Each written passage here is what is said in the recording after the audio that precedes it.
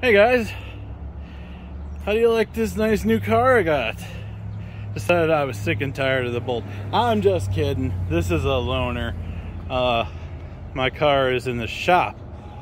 Uh, took it in to get the battery replaced, and uh, I called the EV concierge line on the suggestion of others uh, to try to do the buyback thing. So maybe I could, you know, get an EV, have a first-hand experience with with porting the new car. But I mean, we already know it works. It's just nice to have my hands on one. But uh, so then I get to the dealership, they call, and they tell me the opposite. They say, "Oh, well, having ordered the battery disqualifies you for the buyback automatically." I wasn't too happy about getting led astray since getting the battery replaced is what the concierge line told me to do to qualify for the buyback. Anyway, I get a call later on. The uh, battery that they sent was damaged. oh, oh, oh, crud. I'm back in the, uh, potentially back in the game. The uh, lady I talked to when I called back about what happened said it's not even up to them. They have to they have to send the request into I don't know, some magical pixies in the sky or something, and they have a tendency to reject most requests. so that's real encouraging. I really, you know, the car, eh, it's my car, but there's some things about it that are real annoying that they've fixed in later years. So, let's get this guy started up because it is hot as, let's just say it's hot. so, this is the loaner. And the loaner just so happens to be a beautiful 2020. Ah!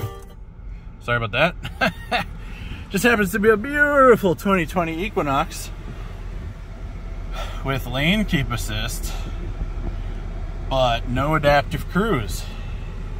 Well, my setup, that's the same setup as what's in my Bolt. In fact, the steering wheel looks almost identical, except for this fake button here. Uh, I'll tell you one thing I particularly like about it. That's not the point of this video, but uh, Android Auto, now, uh, if you have your phone doing navigation on Android Auto and you're talking on the phone, you get the map directions so you aren't missing exits all the time. What a little change that makes a big difference. Okay, let me uh, let me get set up here. So there's two things we have to do. One is, well, actually, before I do, before I bother with this cover, we need to see what kind of connector it uses for the uh, for the gas pedal. Because if it does not match the connector I've got, uh, this may not be happening. I mean, uh, getting lane keep assist working, or not lane keep assist, getting the centering working, uh, that's almost a no-brainer. But uh, honestly, the drive back in this car with no uh, no adaptive cruise, the cruise was the worst part. I, I could keep the I could keep the steering okay, but I kept you know I have the cruise control on and I'd be approaching, approaching the car, and I'd forget that it won't slow down on its own. Ah, all right, so let's take a look at that connector. Just a quick reminder, this is the uh, this style of connector that I'm expecting to see. Now,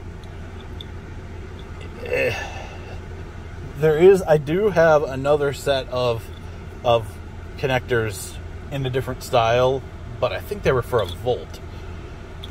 Anyway, let's get down there and look. I Can you see anything? uh,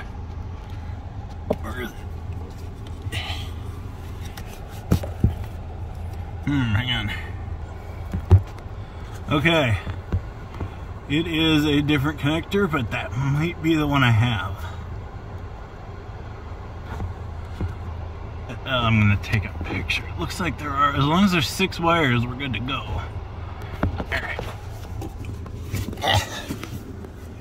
Alright. Okay, I had to pull the mirror down a little bit to pop this loose, I decided that curiosity got the better of me. I wanted to see what was in here. I don't want to break it. What's holding that on? Ah. There we go. You know, you break it, you bought it. Okay. Interesting that it has that green paint on the bottom. I've seen I've seen other ones with that green paint. So this is an Equinox. Uh, we've already established that. You see these cameras, they're all basically the same dimensions. This one's, ooh, it's hot. Shiny. But, um, the problem you're gonna have in this particular case, there is not enough room to hide, well, maybe down here. Maybe in this back part you could, you could stuff some stuff. It looks like they might be able to, but like you've seen on the Bolt, there's a lot more space. This is very, uh, what do you say? I can't think of the word. So the main difference I've encountered with Equinoxes in the past is that pin, it's like this one and 11 and 12 are swapped. That looks like, oh wait, it's upside down. Is that pin 11? I'll have to I'll, I mean, probably I should get the service manual before I go plugging things into random things, right? uh, but, all right, I'm, I'm, I don't know, I'm feeling frisky. Maybe we try it. As is generally always the case, before you touch that wire, you gotta shut the car off, open and close the driver door, or a door. I think, well, yeah, I think it's the driver door. And then we sit and we wait for about three minutes uh, for the car's systems to quiesce. Um, if you unplug it while uh, any of the CAN bus is still operating, you get DTCs. It'll throw trouble codes. Um, sometimes those trouble codes don't necessarily cause it to show a service engine. Now, I just so happen to have the tool and the software I can use to clear those codes. Um, but to clear all the codes, the you, you can clear the like the regular standard OBD codes using one of those OBD2 scanners, but um, to actually clear all the codes, you need a GM diagnostic tool, which costs about 200 bucks. And then to rent the software that lets you actually do the work costs, I want to say 56 bucks for three days. Now that's three days of updates. I believe you're allowed to use the, the version of the diagnostic software you've got for like a year or something, or some length of time. So it ends up not being that big a deal. Uh, like it, it wouldn't make sense for me to get the $150 or whatever, um, month subscription. But I just came across a website that looks like GM might offer a. Uh, I've been using the ACDelco TDS diagnostic software. Uh, GM, it looks like they've got a thing that's like it combines access to the service manuals, maybe programming and diagnostics all in one subscription and it's the same price or close. It's like 20 bucks for 3 days. But that instead of having to pay 20 bucks for the service, uh, 40 bucks for a programming subscription and, and, uh, 56 for the, uh, diagnostic, it sounded like it was all in one. I've got to look into that. That'd be pretty sweet. This mirror is all janky now. It's my fault. Okay, that's better. Now it's been about three minutes. Still probably the easiest way to disconnect this connector is to unhook the camera itself. It's definitely a two-hand job. Oh my goodness. Yeah, look at the look at the size of that clip. I'm gonna have to use two hands. Okay, I did not in fact have to uh, pull the camera loose because the connector does not have the retainer clip like the ones on the bolt. So we can just this is the uh this is what the wiring harness looks like sort of Let's pop that in the back of the camera. plug the car into this. Ugh. Boy, boy, if I had a camera person, this would be a lot easier. There we go. Okay. Now let's uh, see what happens if we plug the Comma 3 in. Apparently, I left the Comma 3 in the house, so we're going to use the Comma 2 instead. well, that's a good sign. Got power. Let's turn the car on, because it's hot. Are we going to get any error messages? We shouldn't.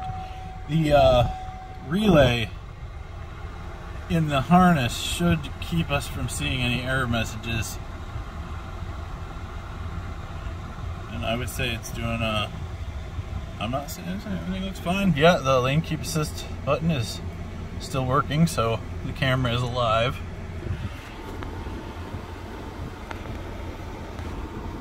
Well, we don't need to wait for this. Actually, I can probably do everything I need with the Comma 2. Car unrecognized. Check count. This is normal because it needs to be fingerprinted. This is this is a good sign. I'm gonna go ahead and just mount this guy to the dash. Oh, window. Now, what I did, hold on. This here is the mount that comes with the Comma 3.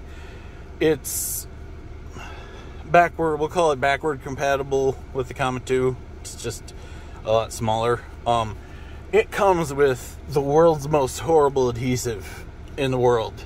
Uh, oh, it's it's good if you never want to remove the uh, whatever this thing is, this connector, uh, because it's practically impossible to remove. It took me a good long time to get it off of this, and I put the 3M industrial uh, clear adhesive, which is designed for windshield. This is the stuff they put they use to hold um the uh, you know I-PASS the transmitters to the window, and it's designed that it comes off cleanly, but it holds super strong. So it, it's not it's not intended to be temporary, but of all the adhesives that I'm willing to hang this 2000 well this isn't a $2000 device but that you want to hang something you don't want falling off the windshield but it's not your car this is the adhesive to use this is another two-hand job, so I can't tape it, but you'll have to take my word for it. It's almost, it's, it's very close to 48 inches across, which is cool. I can do the math on that one in my head, which means the halfway point is 24 inches. So let's see where 24 inches falls in relationship to the existing uh, camera. It's pretty much centered, so we can mount the uh, mount the comma and use this as our center reference. So all we gotta do, the tricky part is gonna be balancing it. So the way I like to do it is I, I'm, I don't have the stuff off the adhesive, but I put, I think this is probably the only way to do it. You put the mount on the device and you mount the device with the adhesive in place and I'm going to set the level on top of the device. None of this I can do while holding the camera. I'm sorry guys.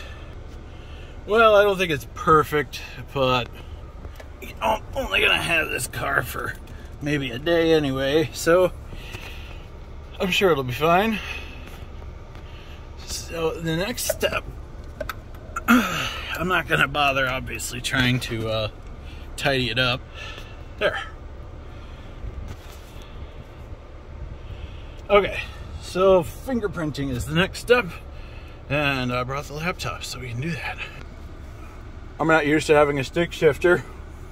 I almost grabbed it and tried to drink it. oh, I'm thirsty. I personally can never remember the instructions for fingerprinting because you got to run these two weird commands.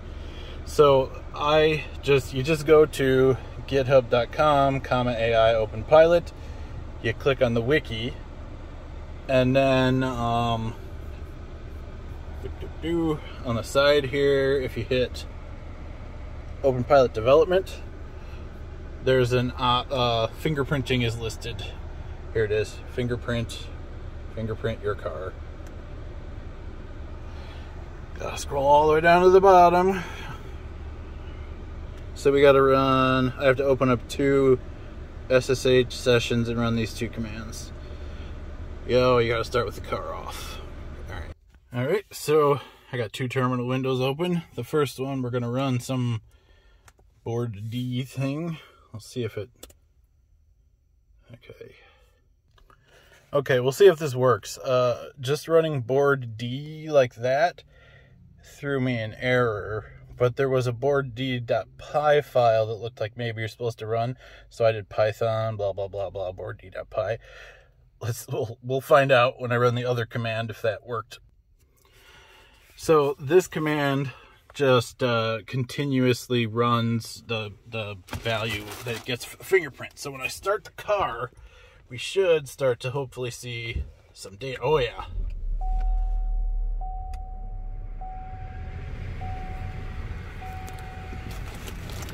At this point, we should have enough for a fingerprint. So we control C to stop it. And then I just have to copy all this stuff from the fingerprint here. Uh, let's see here. 121. Oh, come on. You know, let me scroll with my finger. okay, the number of messages is consistent. That's the other thing you want to look out for when you're fingerprinting. Um, if you're getting different numbers of messages, that's not a good thing. Um, there is a, a, sort of a bug in the fingerprinting right now. Uh, if you have like a car where you're connected to the OBD2 port, that um, GM has messages on different buses with the same ID, and it messes up the fingerprint something fierce. There we go. That is the fingerprint. So to get it on here, normally I would put it in um uh what do you call it? I put it in a update the branch, but this thing hasn't been updated in quite a while, so I'm gonna put the fingerprint directly on the device. So we already had the Equinox in, oops, we, we had the Equinox in here from when a, a guy had one a, a, long time ago, but it's been a long time since an Equinox uh, that I'm aware of has tried to run openpilot. So, uh, should be fun to see what happens with the steering since I can't do the gas right now. This is the values file where the fingerprints sit, and uh, if we look down at the, we had two equinoxes already. Equini? uh, it's interesting.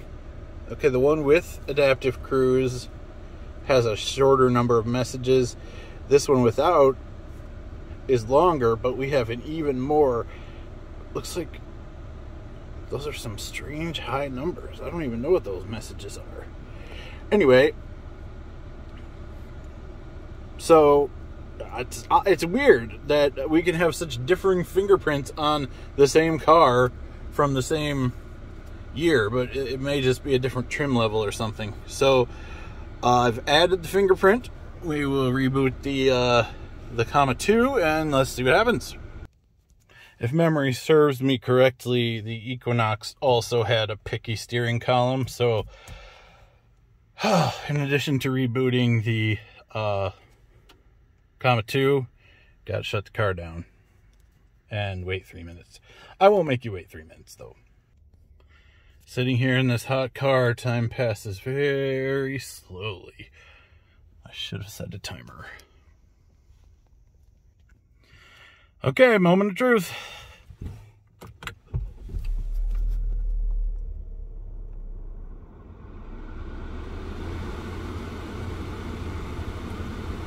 Okay. Oh. Not what I expected. Oopsie. okay. Sometimes it can take a bit to get the fingerprinting working. So I'm gonna cheat. In the root of the openpilot folder, there's this file called launch underscore env .sh. This is where I like to throw these variables. You just put in export fingerprint equals and you got to copy the name of the oh do I have to put that in quotes? I probably should put that in quotes. Okay, I know I'm showing my noobness with uh, with Linux, but you do you need to quote if it has spaces in it or weird stuff will happen. So fingerprint equals quote. You grab the name from oh you come on where is it values.py under values.py there's this cl- car class you use the name that's in the string here to hard code the fingerprint. So now let's uh, save it and reboot and see what happens.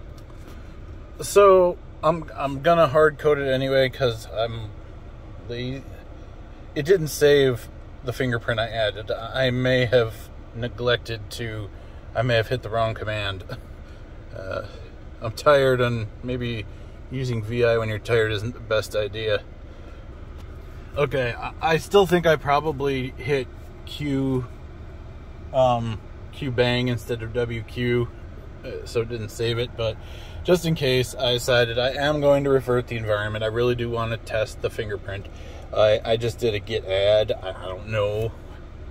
Uh, that's probably not necessary, but let's go ahead and reboot. Watch this. At this. At this. Boom. okay. Oh, shoot. Gotta shut the car down.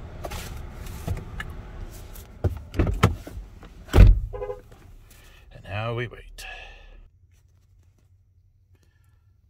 I wonder how long does that light stay on, do you imagine?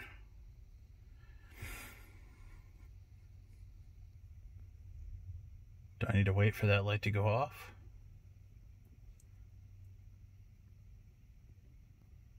Seems like it's been a while.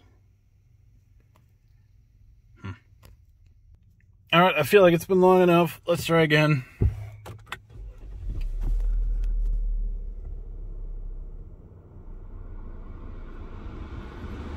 Okay. And I heard the click from the harness. Okay, we're in business. So let's go drive around a little bit and see if it'll uh, actually steer. Okay, moment of truth. Get engaged.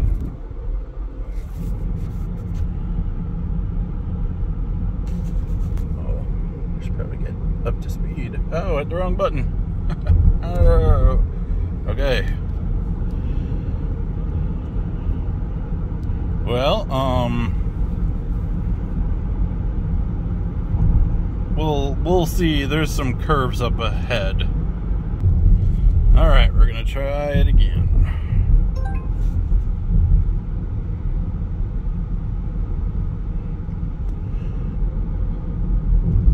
Let's hope we don't hit this light. Okay, this is going to be a good test because there's a nice big curve here. What does it do? Hey, that is not bad for not being tuned at all.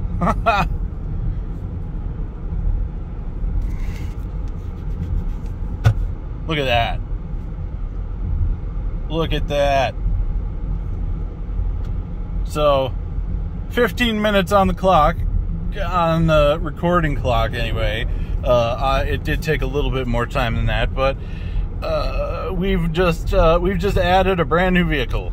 Um, this isn't a port technically because the Equinox was already ported. Oh yeah, you gotta you gotta turn off lane keep assist when you're letting openpilot drive. Um, wow, not bad, not not bad. Okay. One thing I forgot to do, and I forgot to mention, when you switch cars, you're supposed to recalibrate. Uh, so you delete the calibration data. This thing is still calibrated uh, for the positioning that it was uh, in and the you know vehicle parameters of the Bolt. So think about that for a second. This is an Equinox. It's a much bigger car than a Bolt. It's a gas car for crying out loud, and uh, the the visual system calibration uh, from the Bolt, it is able to steer just fine. uh, yes, of course, it could use tuning. Could, you'll never tuning is an ongoing process. It'll never be perfect, but um, I'm gonna see if I've got those connectors. It would be pretty sweet if if I could uh, when I'm driving this back up on the hour long trek to the dealership, if I uh, could let openpilot do the driving and then pop it out, and no one will be the wiser. All right, guys. Well, I, I hope that this was entertaining, and as always, thanks for watching.